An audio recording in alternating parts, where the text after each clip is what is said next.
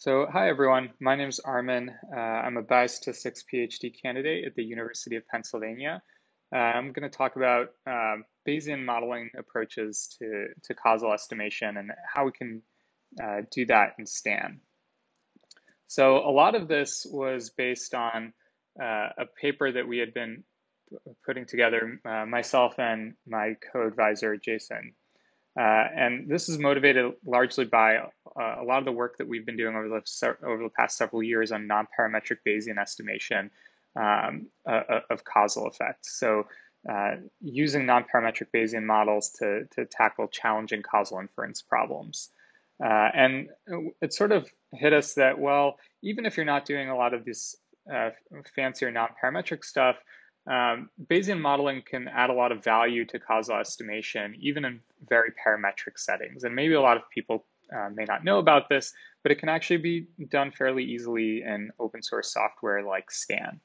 Uh, so we that really motivated us to put together this paper uh, that's up on arXiv now uh, that sort of collects a lot of the Bayesian uh, literature, both from the parametric and non-parametric uh, side of, of, of, causal estimation, into one place and and sort of uh, guides practitioners how uh, uh th through through this estimation process.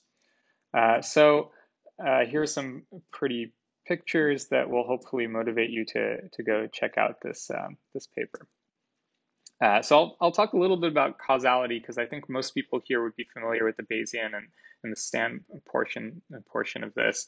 Um, but when we're thinking about causal inference, we're largely thinking about making comparisons between these hypothetical worlds, um, uh, hypothetical worlds where, where people got one intervention and, and not the other, were maybe treated with one drug and not some other drug, or maybe a, a, um, uh, an intervention where everyone in the target population was vaccinated versus not vaccinated, or if they all got a job training program, what would uh, the reemployment rates have looked like? Uh, and uh, so I wanted to distinguish between the data that we actually observe and the data that we would want to, to have if we were doing causal estimation, because these aren't necessarily the same. Right? So what we observe is our, our entire population here and maybe we, we have we have this whole sample, and then some portion uh, portion of these people uh, get treatment A equals one, and then we observe some outcome Y for them, and another portion gets treatment A equals zero. And if this isn't randomized, these two subsets might look very different from each other. Uh, so, so just straight up comparison between these two groups might uh, might uh, result in some bias. But what we really want uh, is to know what would have happened if the entire um, sort of population uh, got treatment one. Uh, what outcome would we have would, would, we have observed? So that's this uh, uh, superscript notation here denotes this potential outcome under treatment one. Uh, and then what would have what would have things looked like if if everyone got treatment zero, right? So we want to make this comparison, but we observe this, and so we um, we are really trying to make, um, we, will need some identification assumptions to actually tie in the observed data with, uh, with these uh, counterfactual measures. Uh, and so suppose we have, we have the setting where we observed this outcome uh, Y, some treatment, uh, confounders L, uh, and then some strata V. So we can maybe, these are ethnicity uh, strata, and we want to compute causal effects within each, each of these strata. And we have these potential outcomes, uh, the potential outcome that would have been observed uh, under treatment little a. Right, and so uh, we might want to compute this type of causal estimand, this average, uh, conditional average treatment effect uh, within strata little v. So what would have been, what would have the average difference in outcomes have been had everyone in stratum v been treated uh, versus untreated. And so using these identification assumptions that I mentioned, we can compute each term of this psi uh, by just integrating a regression model of the outcome on treatment stratum uh, and, and, and regressing on confounders uh, over the confounder distribution. Right? So there's a regression here denoted by, by mu. We'll need to estimate that statistically. We'll need an estimate of the confounder distribution. And if we have that, we can just perform this integration and then, and then compute each term of the causal estimand. Uh, so now this is really a statistical problem, and we can throw uh, some, some Bayesian uh, tools at it. Uh, so uh, we could think of parametric approaches where now this regression is parameterized by these, uh, by these um, beta coefficients, and there's some link function g here. and so we, we just need a prior on these on these regression coefficients, and that induces a prior on the mean function.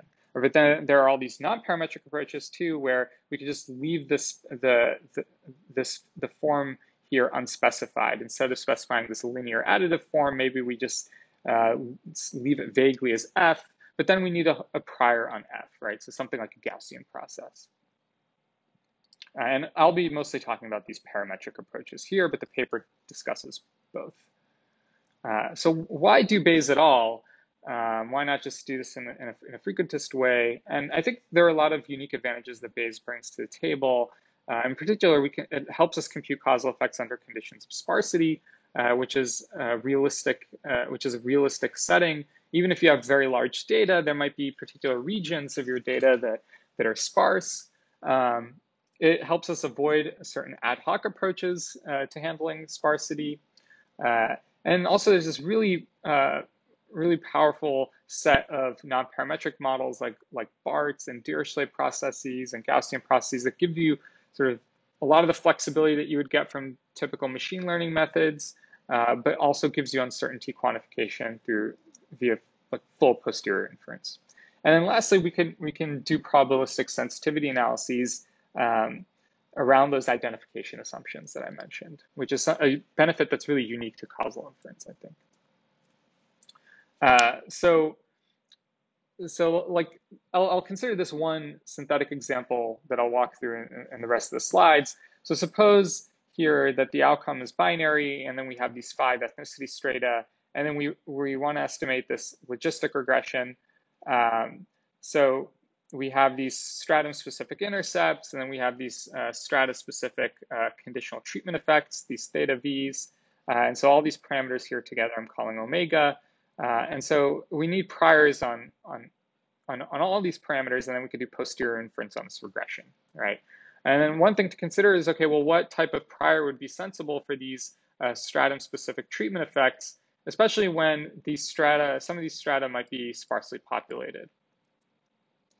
Uh, and so one, one prior that would be useful in this setting uh, is, is this partial pooling type prior, where you might say that, okay, all these uh, stratum-specific conditional effects, they all are distributed around some overall effect theta star uh, with dispersion control by phi. And so this gives us a shrinkage type of interpretation, right? Maybe we're shrinking these individual race effects towards a common effect.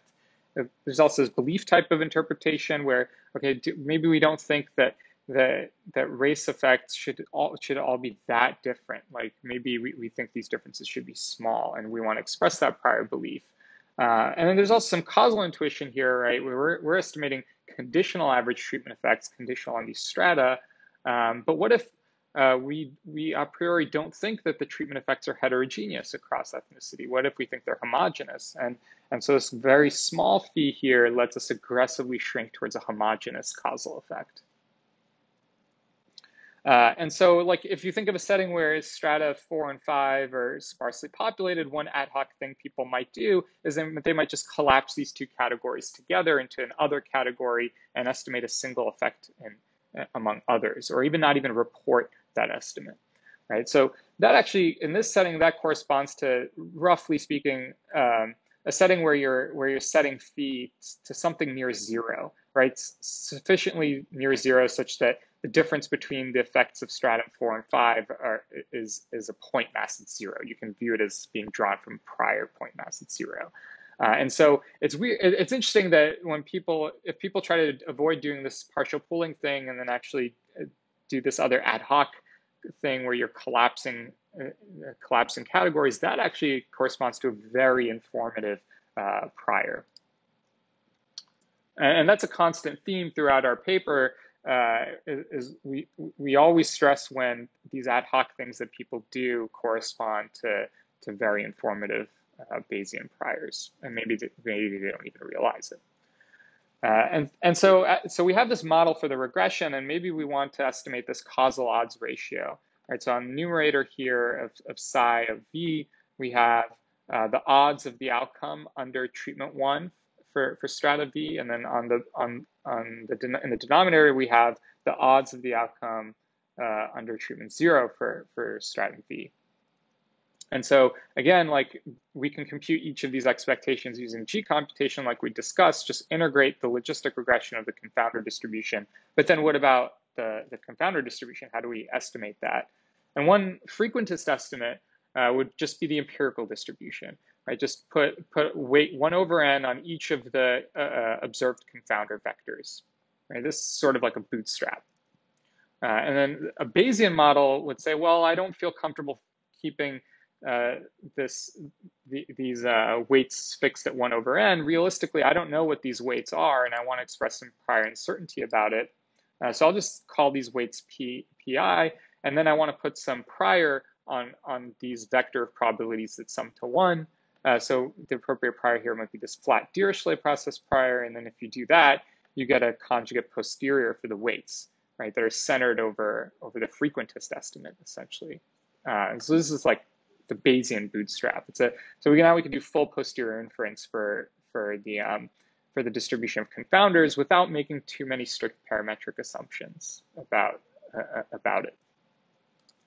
And in terms of MCMC inference, this is fairly straightforward. You can use uh, whatever you want to get these posterior draws of the parameters, these omega uh, superscript m. Here gives you it, it denotes the mth draw of the of the uh, logistic regression parameters. So we'll do this in STAN. Uh, then for each treatment group and each stratum, you compute the predicted probability for each person here, um, uh, the predicted the predicted probability of the outcome uh, under each treatment, uh, under the that, the posterior draws, the current posterior draws of your parameters. You take a draw of your Bayesian bootstrap weights from the posterior, and then you just plug it into your standardization estimate. So now we integrate this logistic regression uh, over the confounder distribution, which we estimate using the Bayesian bootstrap, right? So we approximate this integral now uh, with, with this sum. And that gives us an mth draw of, of, the, um, of, of the mean potential outcome under treatment little a. Uh, and then now that we have that, we, it's a matter of arithmetic to to then do the divisions and compute a causal odds ratio. So here, uh, doing this many, many times gives us a, a, set of posterior draws for this causal odds ratio in each strata, uh, each stratum of V. Uh, and so this can be implemented pretty easily in the generated quantities block in STAN. So here I'm just taking a, a draw of weights from the Dirichlet, uh, uh, from a Dirichlet posterior, uh, and then I'm computing the conditional mean uh, of the outcome under both interventions for every single person. And then uh, in these two lines here, computing marg underscore mean underscore y, I'm applying the Bayesian bootstraps, uh, the Bayesian bootstrap weights, and then computing the odds ratio for each stratum. Uh, and th these are the results in just one stylized synthetic example. So in blue here are the posterior mean and, and, and uh, interval estimates for these stratum-specific odds ratios. And the dotted line here is the overall effect. And in black here are the MLEs. Uh, so we, we see that for these sparsely populated ethnicity groups, four and five here, um, we, we've aggressively shrunk them towards the overall effect. But then for these more well-populated strata, uh, there's less shrinkage going on. So this gives you a little bit of um, a compromise between this ad hoc collapsing of sparse categories uh, versus just computing a, an average effect across all races, right? It says, well, don't compute an average effect, but don't do this collapsing either. Um, maybe just uh, have a prior that balances the, these, these two uh, uh, causal effect estimates. And I want to use the remaining time to talk about sensitivity analysis.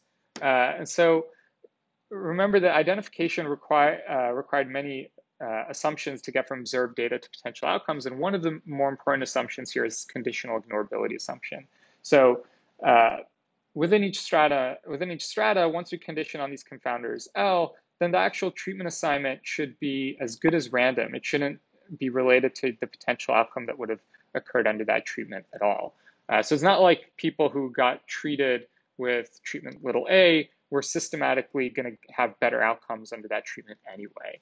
Uh, that that would lead to bias, right? So, but and if ignorability is violated, if this does not hold, uh, then actually the mean potential outcome under either treatment uh, might be systematically different between those who got treated and those who didn't. And so we say, okay, if these aren't equal, let's, let's actually calibrate the difference. And we'll just call this difference delta here, delta superscript A. Um, so, so here we're, we're not assuming that these two, two expectations are equal as they would, would be if the ignorability assumption holds. Uh, instead, we're, we're assuming that, it, that there's some positive difference here. Uh, and then in the end, we want to put a prior on this.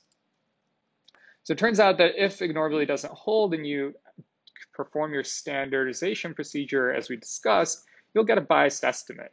You know, this is will be equal to your um, average difference, um, average difference potential outcomes within that stratum plus some bias C.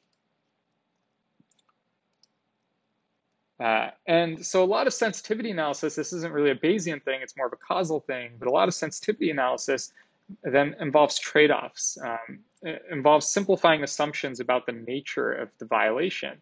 You can make the nature of the violation arbitrarily complex, but then you might not have a very intuitive sensitivity analysis. On the other hand, if you simplify too much, you might not explore realistic violations. Uh, and and so this this is the trade-off that that everyone needs to make, whether they're Bayesian or frequentist or whatever, if you're doing sensitivity analysis. In this case, we'll make a simplifying assumption that the bias uh, and, and the difference in either potential outcome is just going to be the same. So it's just a single delta. Uh, and then that's going to be independent of confounders. And in this case, our bias term will be, uh, C will be just delta. And now we can specify priors over, over this bias that reflect our um, uncertainty about the magnitude and the direction uh, of the ignorability violation. So uh, recall if this is the risk difference here, um, then this difference is going to be between negative 1 and 1. Uh, and so if higher, um, if higher outcomes uh, here are worse, uh, then, and we believe that treated patients are going to be doing systematically worse, then we think delta is going to be positive, right? So maybe we specify a, a uniform prior between zero and one for delta. But if we have prior reason to think that treated patients might be doing systematically better, then we might specify um, a uniform negative one to zero uh, prior on delta. And if we're not really sure about the direction of the effect, but we're pretty sure there's some ignorability violation, we might just specify uniform negative one, one prior. And what this will do is actually it'll increase our um, the width of our posterior intervals uh, for, for the risk difference. And that makes sense because now we have additional uncertainty about whether or not the ignorability assumption holds. Uh, and then, of course, like the trivial case, if you think that that ignorability does hold, that corresponds to a prior where delta uh, follows a Dirac uh, distribution at zero. Um, and so all of these things can be easily fit and Stan like, and, and the MCMC requires very little modification. You just take your usual standardization estimate, right? Here your Bayesian bootstrap weights. Here's a mean function, but now you're subtracting off a draw from your prior. You're, you're subtracting off that bias that you think is there. And you can do this in the generated quantities block. You can do this in the, you can specify prior for delta in the models block. I think either one works. And lastly, I'll leave you with some resources here. Uh, all the code for for for for this talk and for the paper that I mentioned, it's all available on GitHub, so you can feel free to uh, run it. And as always, um, feel free to reach out to me if you have any questions or, or comments. Thank you.